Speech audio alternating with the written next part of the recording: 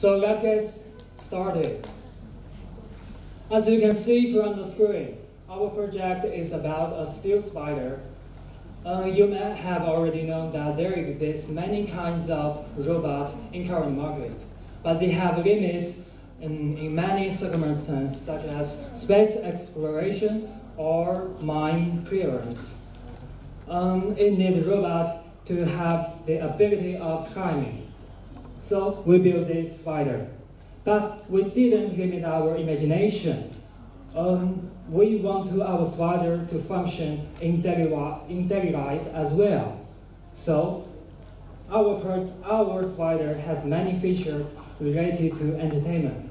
So take a, let's take a look at it.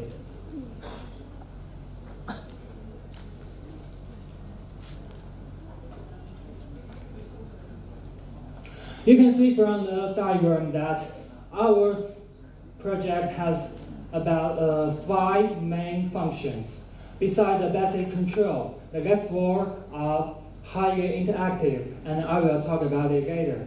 So let's look into the core of the system.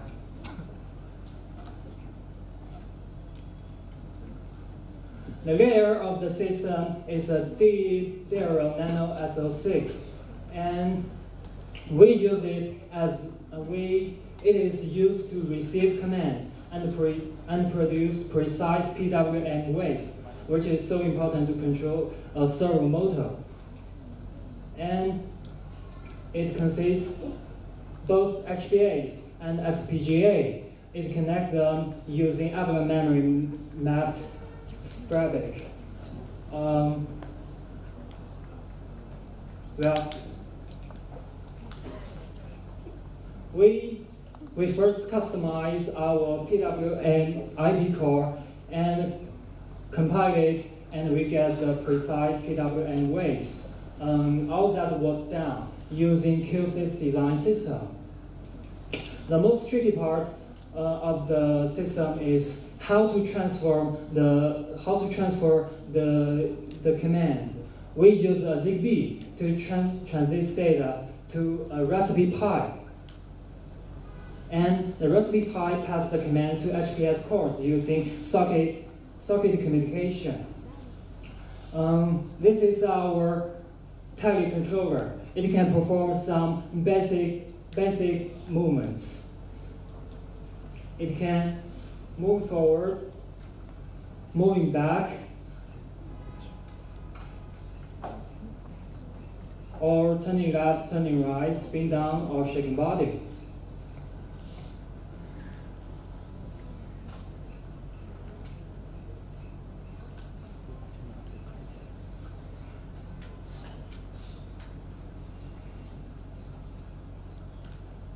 But you can also use some advanced skill, advanced skills. Just log into our web page control. Just click on it, and the spider can play piano or dancing with music. You can see. Uh, we will show you this video clip.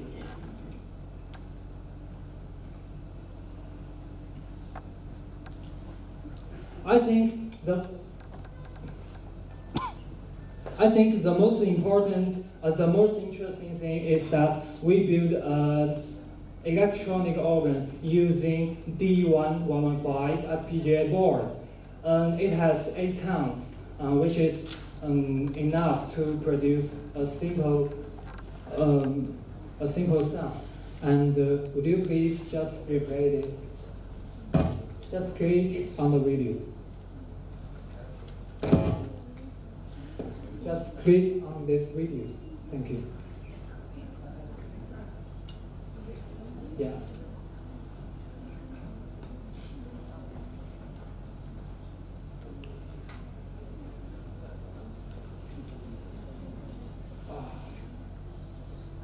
well, let's forget about it. And next. Thank you. It's okay.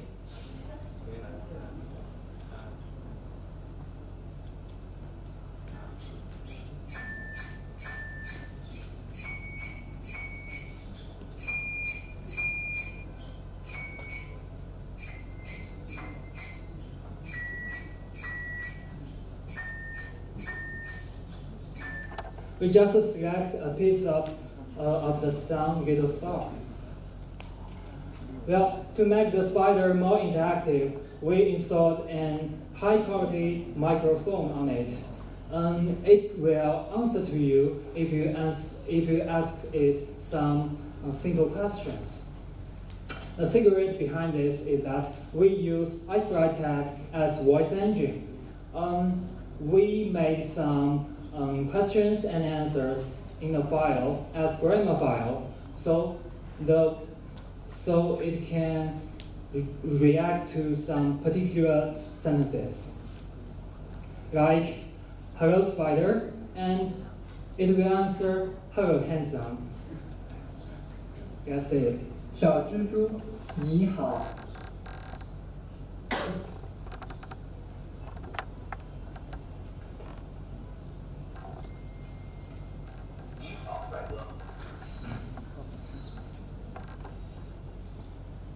And we want to extend the ability of um, its vision. So, well, it can also play music, and I think um, we will show you later. We installed a camera with 5 million pixels on it. So naturally, an idea comes to us naturally that why can't we make the spider recognize what it saw? So we installed and we implemented a mathematics script into HPS using Mathematica's powerful knowledge database to recognize the image. And the accuracy was very high.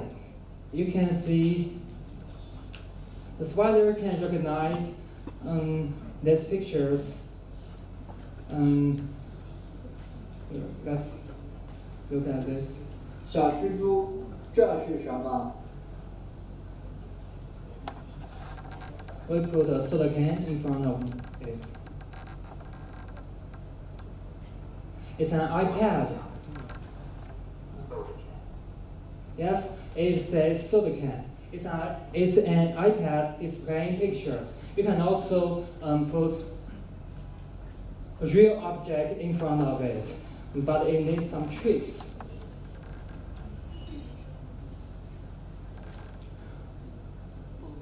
You may have already noticed that uh, in our web page control um, control web page, uh, there is a um, video video window. Or we, in, we install we implemented an MJPG streamer to it, uh, so you can look at this world using um, in spider's view, yes, the first person view rather than third person view, uh, which is the case in real world. And I think it will give you a different uh, experience. So let's um, just skip this. The spider is spinning and you can see what it saw. Well, the last feature is the spider can solving a Rubik's Cube. We just map the color of the cube to HSV color space rather than RGB color space. And we use um, a, a mobile phone's camera with 16 million pixels uh, rather than color sensors to compensate the distortion of surrounding light and we use Kociemba algorithm to solving the cube. Uh, and the voice synthesizer will tell the user how to solve the cube, giving voice instructions.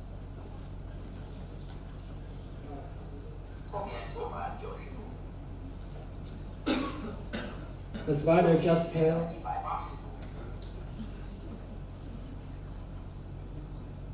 So after about so after about 20 states, the cube will be solved.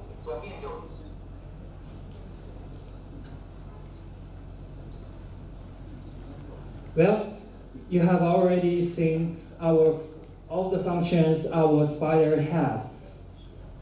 Uh, and I have the confidence to foresee that there will be plenty of applications uh, about the spider in the field of industry, astronavigation, military, medical, or family entertainment. And I believe this spider is the best design we make so far. Thank you.